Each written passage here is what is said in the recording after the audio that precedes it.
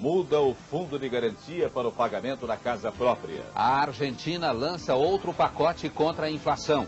No Brasil, o ouro e o dólar, no paralelo, sobem muito. Os candidatos Collor e Lula começam a semana decisiva da campanha eleitoral. Cai a cortina de ferro na Tchecoslováquia. Vai ser em São Paulo o primeiro jogo das finais do Campeonato Brasileiro.